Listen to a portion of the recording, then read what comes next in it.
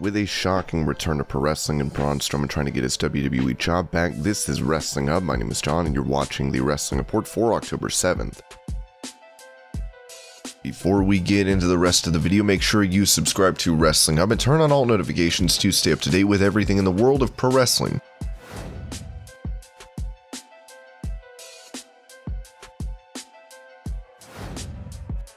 Following his WWE debut in 06, CM Punk would be on Survivor Series later that year with Team DX against Team Rated RKO. Speaking to the Philadelphia Inquirer, Punk talked about having a ton of fan support at that show, saying he was more over than DX, which caused problems backstage. That kind of backfired on me at that point in Philly, because that wasn't the case. That's not what happened. People were mad because we don't understand why this kid's over. Then they'll use the crutch of, oh, it's just internet fans. Yeah, okay, 18,000 people packed the place, and they're all just internet fans, but whatever. It means something to me now because it was validation. Like, yeah, my hard work is paying off. Yeah, people are seeing me and the things that I'm doing and people like me. Let's go. Now I'm in a spot where if that happens, it's embraced. It's not picked apart and told why 18,000 screaming people are wrong. Not only did it mean something to me then, it means something to me now. That's just validation that you're good at what you do. A lot of times in this business, it won't make sense to the people in charge what catches fire. But if the people in charge are smart and have a brain in their head, they'll recognize recognize it and just go, all right, this is what the fans want, we're just going to give it to them.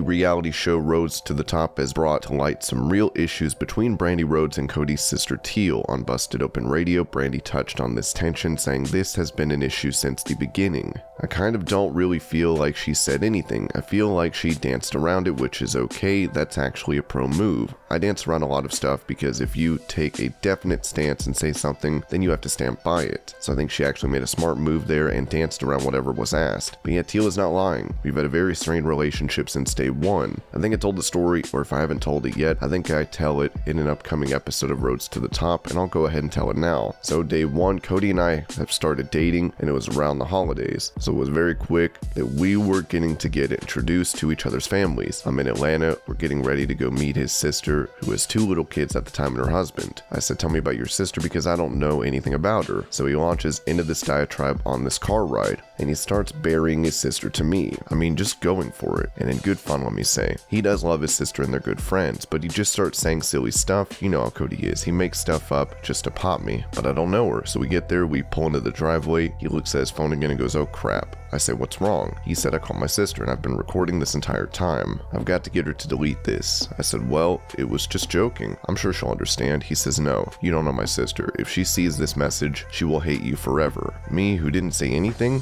I just sat there in the car listening, and then the door opens and she's standing there looking like a Stepford wife, and I'm just like, I'm screwed. This is not going to go well. And it never went well from that day. I don't know if Teil ever heard that voicemail or not. I'm assuming she did, but I feel like the voicemail was the curse of the beginning of our relationship.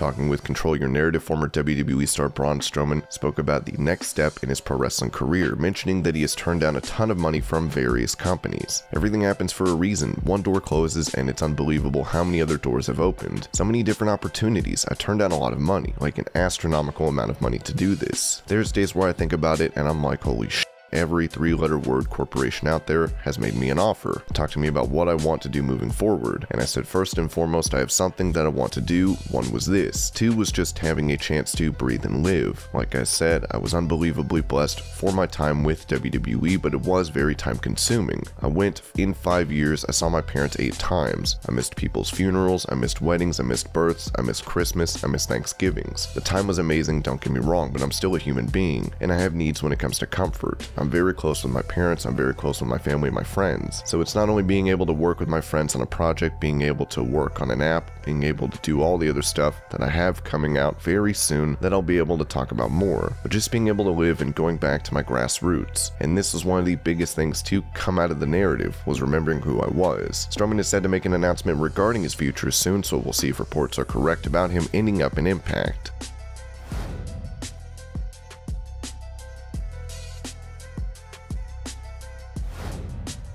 Speaking of Strowman turning down companies, MLW owner Court Bauer confirmed on a media call that they spoke to Braun and were unable to agree on a deal. We did talk to Braun Strowman for a little bit and didn't come to terms with him on a deal. I can't say whether they're going to be headed or not, I don't know, but we're looking and evaluating talent all the time and see if it's a good fit from a product's point of view with our fans. Will it mesh? And from what noticed is that there are some names that are big stars, high profile guys that come in and they're embraced by our fans, and there are others that are like, yeah, we know they're busy. They're coming to form a big company, but this isn't their jam, so it's a really delicate thing. You're a chef, certain ingredients will work, and certain ones don't. Every scenario is different.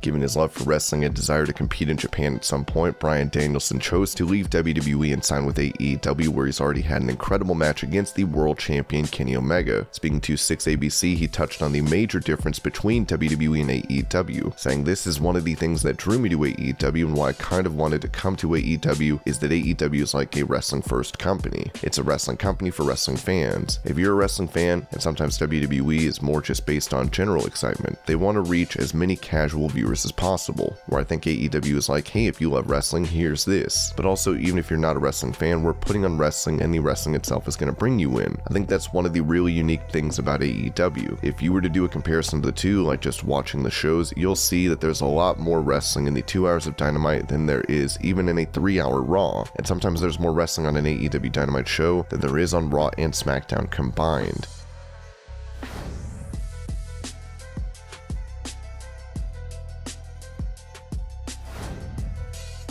Continuing with Danielson, he told Fight on Focus that he wants to face MJF as well as take part in New Japan's G1 Climax tournament. As far as goals like I want to do this, I want to do that, I don't have a lot of that. I would like to do, there are some people I would like to wrestle on AEW and obviously you want them to be incredible matches. I'd love to be able to go to New Japan and do the G1, but that's COVID dependent. I don't hang anything on that. I would love to do something with MJF and AEW. If that doesn't materialize and it never happens, it doesn't matter as long as I enjoy the rest of the things. A feud between Danielson and MJF sounds incredible as we hope that can happen soon.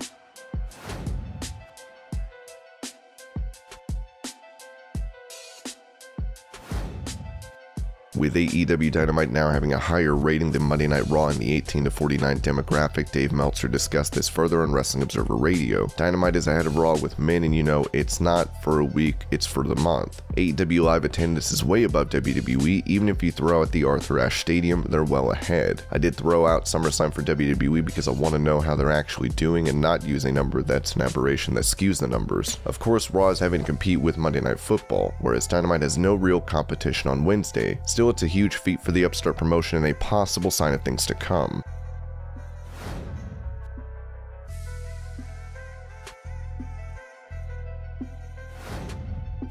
Talking with Control Your Narrative, Strowman was asked about his next opponent as he would then send a message to his former stablemate Bray Wyatt. I don't know if it's really one person, I think it's anyone. Anyone that has something inside them that they need to get out. Anybody that needs to be set free. These things have always been good at setting things free. There's only one man on this earth that I want to see knocking that door. He's family. He showed me things in life that I never could have imagined seeing. He bestowed me the gift upon me of being the godfather to his son. Wyndham, I'm waiting for you, brother. Following a shocking release from WWE, Wyatt is expected to have his non-compete clause expiring the 29th, so a match against Strowman could very well be in his future.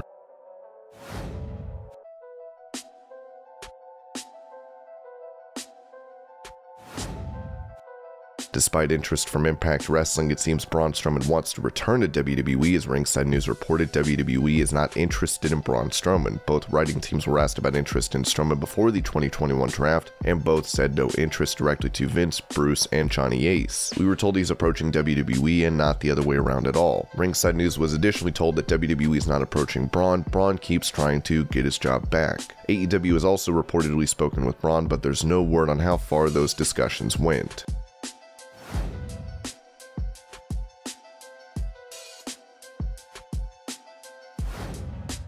In a shocking bit of news, Women of Wrestling have announced that AJ Lee will be a part of the promotion. While the show was removed from AXS TV, they're talking to Viacom about a reboot for next year. Now, PW Insider has revealed details about the partnership between WoW and Lee as they noted, WoW approached her and made her an offer to work as an executive on the series. She has not shown any interest in wrestling and has a lot of projects in Hollywood she's working on. Going to WWE or AEW would surely take up a massive amount of her time. WoW won't be as busy. She'll get an executive credit, and she can be free to get her other film and writing projects going. and her eyes, isn't an option for her due to health reasons. AJ would add on Twitter, kept you waiting, huh? So proud to join the Viacom CBS and WoW Superheroes family as an executive producer alongside the great Jeanie Buss. You'll see me on camera too as a color commentator.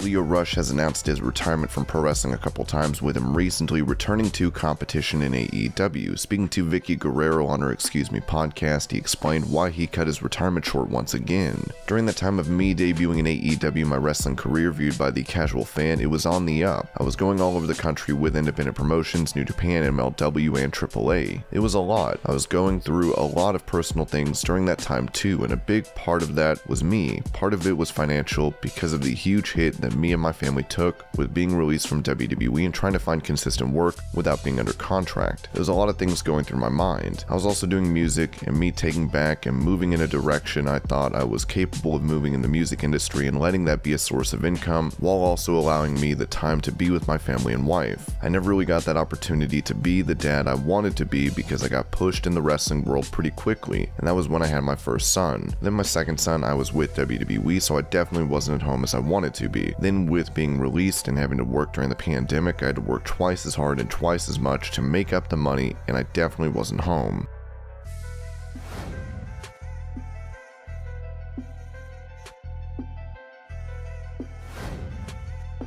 Pro wrestling star Wildcat Chris Harris, known for his TNA Tag Team America's Most Wanted, was arrested on October 5th in Kenton County, Kentucky for operating a vehicle while under the influence of alcohol, with him failing to produce an insurance card and being booked in jail at 10.05 p.m. according to PW Insider. He was released the following morning with his court date set for November 2nd at 9 a.m. And this was your Pro Wrestling News Update. I hope you're all having a great day. Thank you so much for watching, and I'll see you later.